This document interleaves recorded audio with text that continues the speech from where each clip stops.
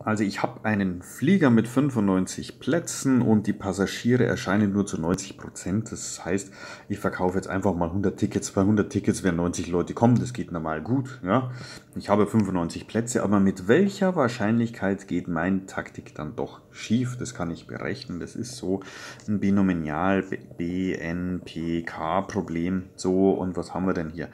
Also N ist das fast schwierigste, ist in dem Fall 100, weil ich verkaufe ja 100 Tickets, 100 Personen haben eine 90% Chance.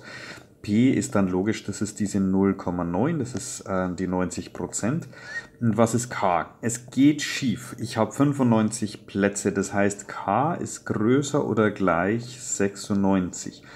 Wenn das eintritt, habe ich verärgerte Passagiere, die mitfliegen wollen und nicht mitfliegen können mit welcher Wahrscheinlichkeit p von x größer gleich 96. Ja? Das möchte ich wissen und das kann ich nachschauen.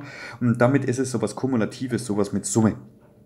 Ja, das heißt, ich gehe jetzt von i gleich 9, 6 bis 100 und schaue das in der Formelsammlung nach.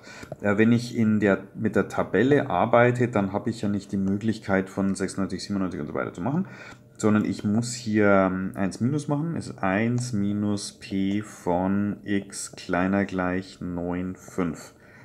Das ist die Wahrscheinlichkeit, dass es gut geht. Ja? Also bis von 0 bis 95 und 1 minus ist dann die Wahrscheinlichkeit, dass es schief geht. Und das schaue ich in der Tabelle nach. Oder ich mache eben das, was ich jetzt mache. Ich schaue in meiner Lieblings-App nach. So, die Selected Receipt Distribution und Binomial. Und ich habe hier 100, 100, 0,9. Es sollen genau 9,6 und größer gleich. Und stell fest, 2,34, 2,4 Prozent. Na, das riskieren wir. Also ich habe hier